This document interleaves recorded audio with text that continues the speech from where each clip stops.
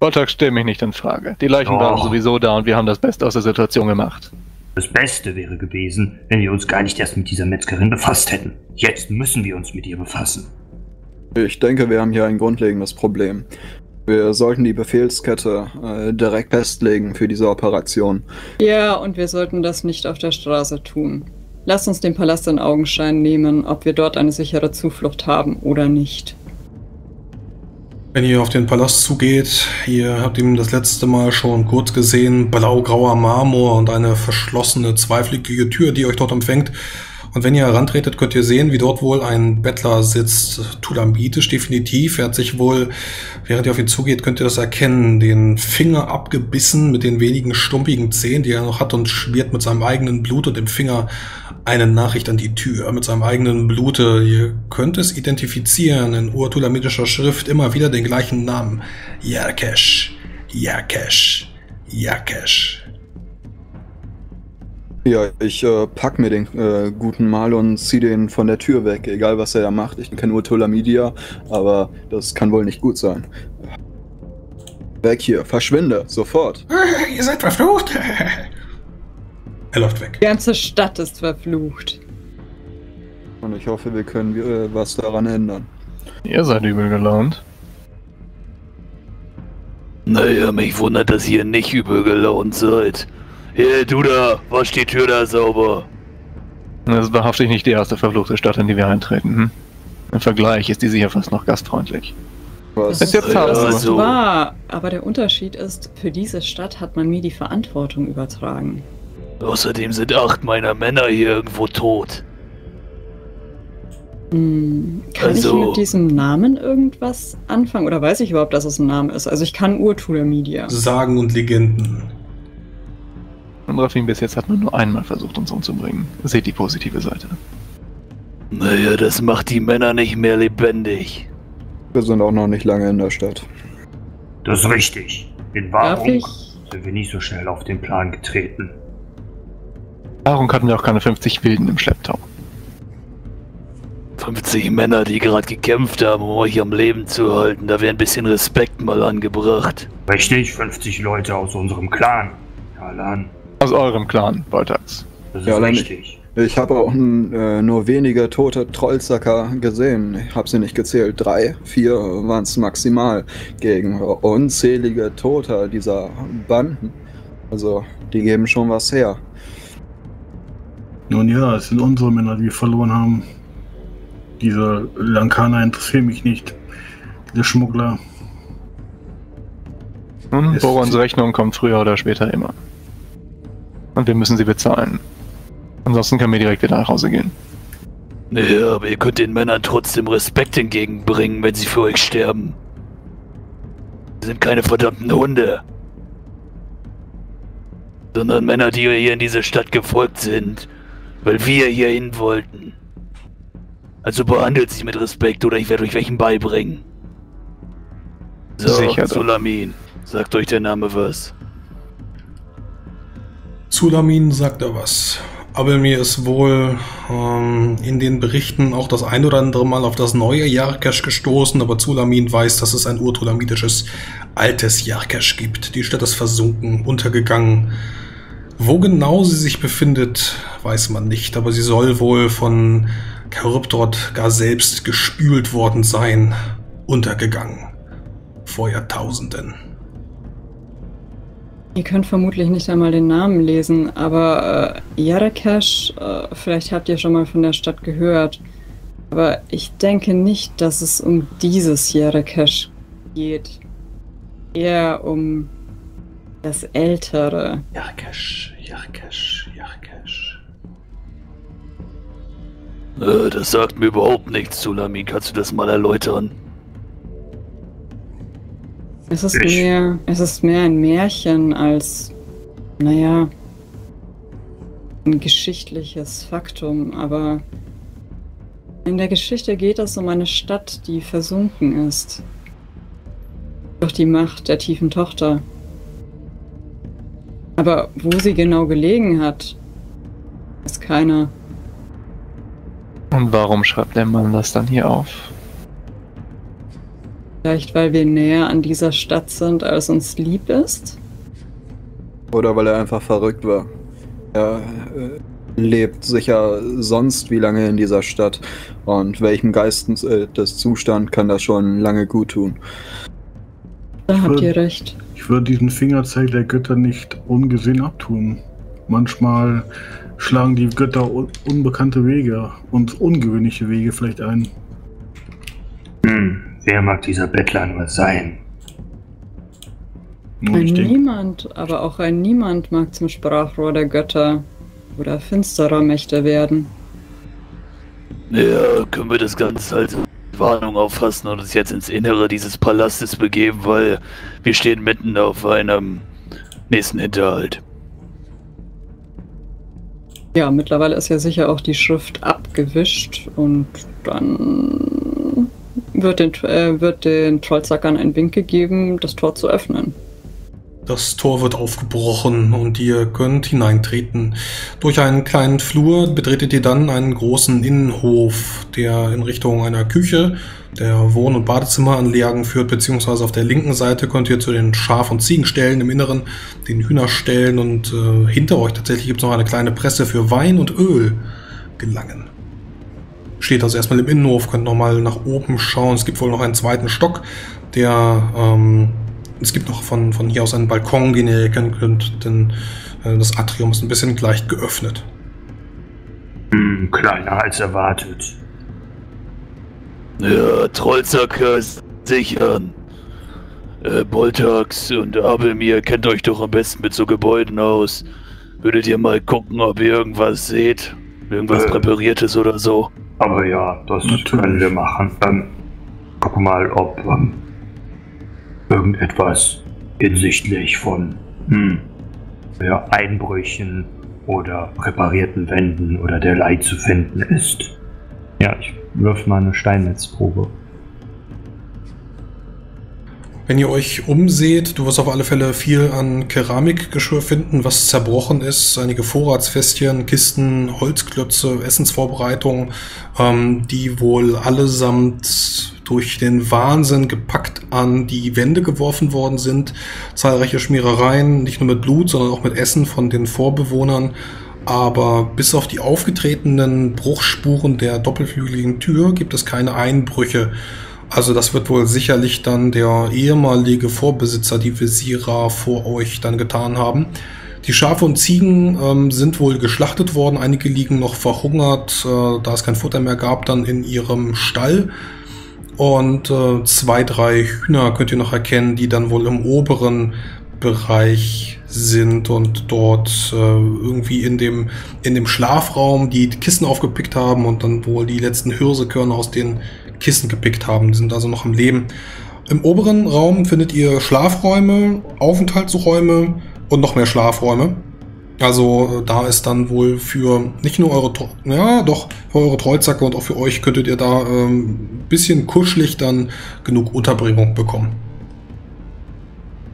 Der Palast scheint soweit in einem guten Zustand zu sein. Bedenkt man die Verwahrlosung der letzten Visiere. Und er ist gut zu verteidigen. Es gibt nur einen einzigen Ein- bzw. Ausgang und das ist dann die doppelflügige Tür. Ich würde mir nochmal den Keller angucken. Gibt es nicht. Okay, super. Das ist ja sehr erfreulich. Mich äh, wundert es, dass wir hier keine gefunden haben, die sich äh, hier einquartiert haben. Ich meine, der Palast war doch nicht bewacht. Warum äh, Ja. wurde diese Wohnstätte nicht benutzt? Wissen wir, wie die letzte Visiere nun ja gestorben ist? Ja, es kann auch sein, dass es hier spukt. Vielleicht geht ihr rachsüchtiger Geist im Palast um. Ja, wie auch immer.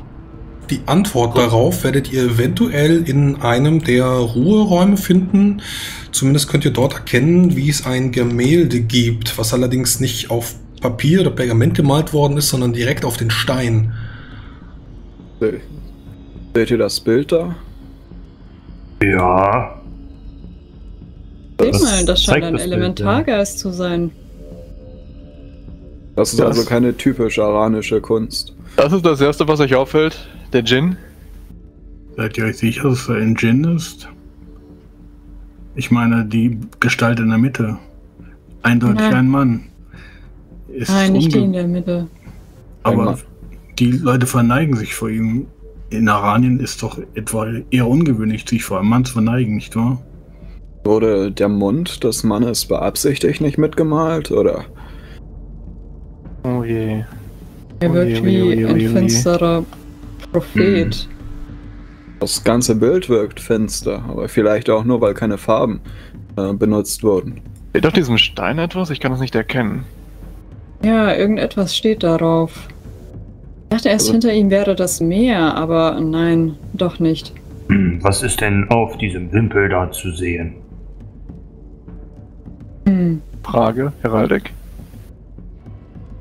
Ja, wenn du willst, Heraldik, klar. Also es sind keine heraldischen Symbole, aber man kann das sicherlich angedeutet dann wohl identifizieren. Ich, ich hatte spekuliert, es wäre vielleicht. Oh, plus eins. Ich hatte spekuliert, es wäre vielleicht irgendwie einfach nur das Stadtwappen von Bianca oder so ein altes. Äh, nee, ist es nicht.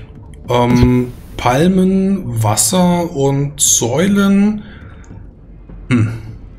Du weißt nicht genau, was das ist. Gucken wir mal nach. Ich glaube, mit einer plus eins werde ich es dann noch nicht geschafft haben. Aber Abelmir. Gemeinsam mit den Sagen und Legenden hast du das wohl Jerkesch zugeordnet.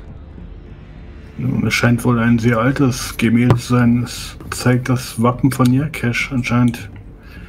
Es ist sehr, sehr alt.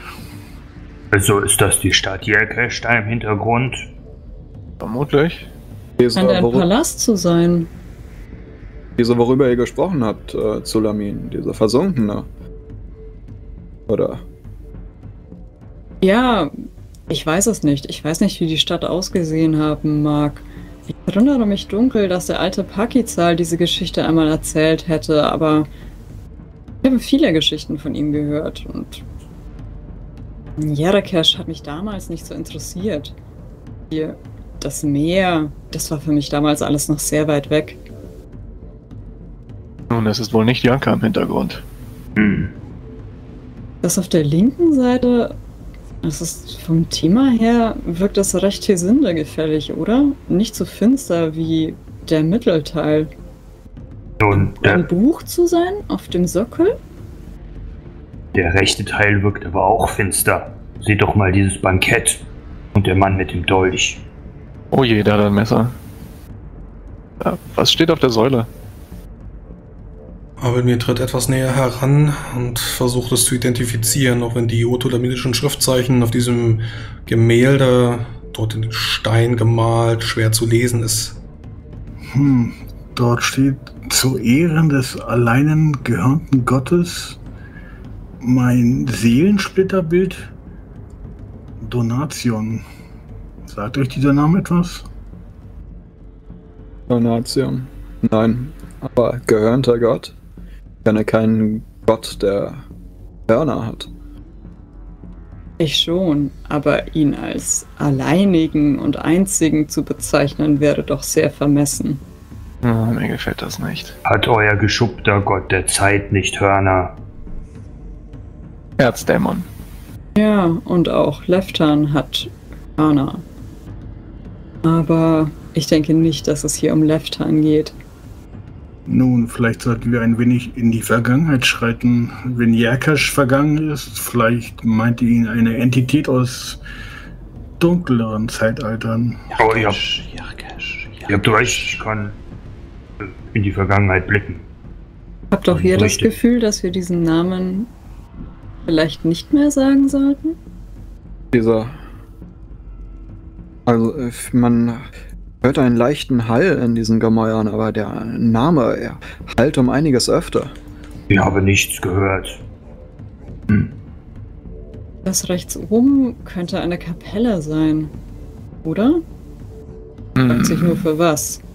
Es Also sieht die- nicht, nicht besonders tulamidisch aus, wenn ihr mich fragt, nicht wahr? Habt ihr recht? Trag von Kekrach kommt dabei. Hey Bruder, da kommt wer. Kleine, kleine Trollzackerkrieger. Oh ja, ich komm nach draußen. Habt ihr die Gefangenen schon in den Hof gebracht? Äh, liegen alle da.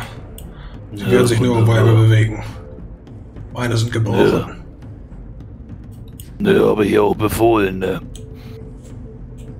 Ja, Zulamin, wollt ihr mitkommen oder euch das äh, faszinierende Bild hier anschauen? Ich denke, ich sollte mich darum kümmern. Ich komme mit. Ähm, ich denke übrigens, dass ihr es am Ende zerstören solltet, aber was weiß ich schon. Das Bild. Wartet lieber noch ein wenig. Ich werde garantiert nicht alleine hier verstehen bleiben, ich komme auch mit. Oh, und ich werde nicht hier schlafen. Kann jemand anders tun.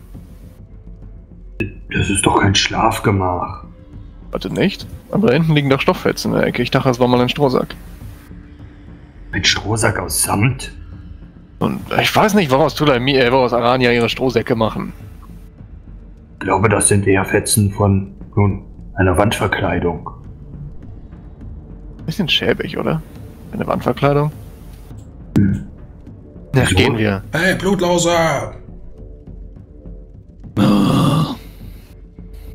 Ja, Rafim, tritt mal draußen vor die Flügeltüren. Wer steht denn da? Ein Ferkiner Krieger.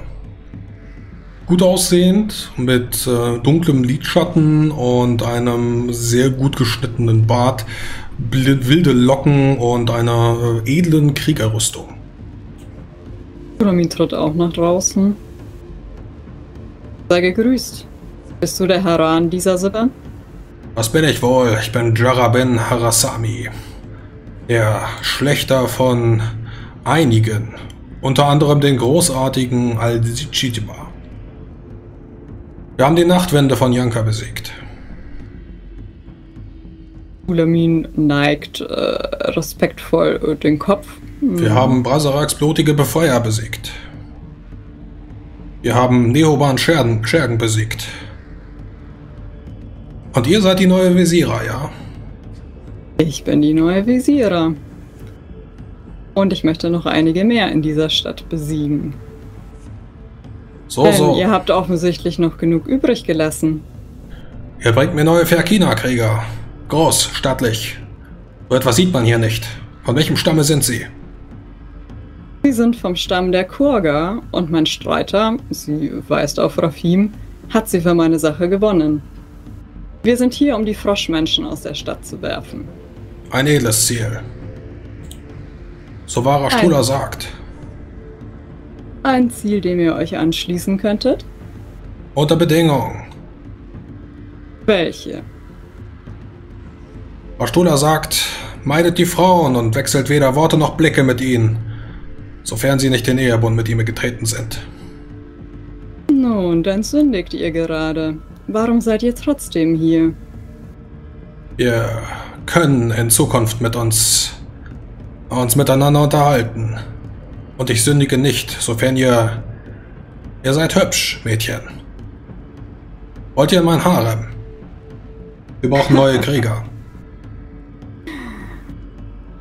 Ich denke, dies ist seine Version eines Heiratsantrags, oder? Ähm, ich denke das auch. Ich bin nur gespannt, wie er aufgenommen wird. Nun, ich fühle mich geschmeichelt. Aber ihr solltet mich nicht als Frau sehen. Ich bin nicht als Frau hier, sondern als Gesandte der Götter. Und ich habe eine Aufgabe. Ich werde mein Leben nicht in eurem Harem verbringen.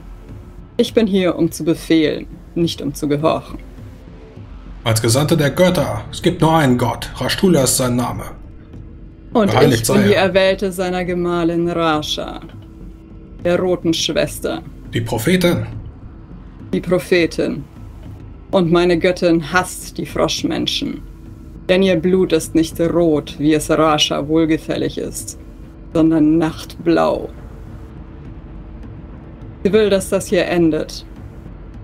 So wie auch wir es wollen. Wir sind zu wenige. Der Kult des Malma ist gar groß. Sind das die Leute von dieser Neraida? Ha. Neraida ist schwach. Nein. Sie führen gar gottlose Kreaturen in ihren Reihen. Riesige Krebsmenschen. Froschmenschen. Und diejenigen, die sich verwandeln. Das, sind liegt daran, dass sie sich nicht an die Speisegebote halten. Der Gottgefällige speist nicht von der Nebelkrähe, der Sandkrähe, der Rohrdommel, den Lämmern, den Bartgeiern, den Fledermäusen oder dem Sturzpelikan. Nichts, was gespaltene Hufe hat, gefiederte Wesen, nicht vom eigenen Kamel, Maultier, Pferd, Einem Reittier des Freundes oder des Vaters und nicht vom Maulwurf. Sie, der Galwal, haben gesündigt. Ich habe hier Menschen gesehen, die vom Fleisch anderer Menschen essen. Und das ist die größte Sünde von allen. Sie sollen ihr von erschlagen werden. Speisegeboten redet. Man speist doch nichts, was lange Ohren oder Schuppmaut trägt und was im Wasser lebt. Wenn das mit den Schuppen stimmt. Oh, wieder hat dem geschuppt. Ah, furchtbar. Gesetz Nummer 16. Er nickt. Ja, will er uns jetzt helfen oder nicht? Kannst du uns sagen, wo das Quartier der Froschmenschen ist? Wo verstecken sie sich? Welches Viertel gehört ihnen? Der Hafen. Der Und ganze? Der ganze. Und eigentlich gehört ihnen ganz Janka, doch ihr Interesse scheint sich nur auf den Hafen auszudehnen. Derweil konnten wir uns die Stadt in Regionen aufteilen. Welches ist euer Viertel? Nun, der Bazar. Der Bazar und das Arena-Viertel. Ein stattlicher Teil der Stadt. Schließt euch mir an. Gemeinsam werden wir sie besiegen. Ich biete euch an, euch mir anzuschließen. Wenn wir gegen den Malma kämpfen und die Froschmenschen aus der Stadt sind, dann könnte euch sehr viel mehr der Stadt gehören. Die Hafengebiete werden dann frei. Aber könnt ihr uns überhaupt helfen, wenn wir gegen den Malma ziehen? Die Verkiner sind ein Reitervolk. Habt ihr auf See überhaupt Wert für uns? Auf See, giftiges Wasser, das meiden wir. Aber, wie Gesetz Nummer 3 sagt, wir sind von Zorn und Trauer erfüllt. Wir streiten den ganzen Tag. Und wenn es gegen die Feinde geht, Schuppenkreaturen, dann sterben wir ohne Angst. Das ist die richtige Einstellung. Dieser Mann ist sehr vernünftig. Geist und Körper, Gebet und Kampf. Ihr müsst einen starken Willen haben, dass ihr in dieser Stadt noch nicht wahnsinnig geworden seid. Die einzigen. Das gefällt mir. Ihr nehmt also an, ihr werdet in mein Harem eintreten? Nein, das werde ich nicht. Aber ich biete euch an, unsere Reihen zu verstärken. Und am Ende mit einem Gebietsgewinn belohnt zu werden. Hm.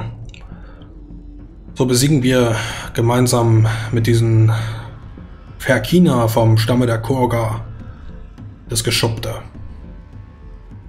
Dann soll es so sein. Prophetin von Raya. Und wenn ich euch einen Tipp geben darf, ihr solltet nicht mit den, Trolls, äh, mit den Torwalern sprechen, sie sind wahnsinnig.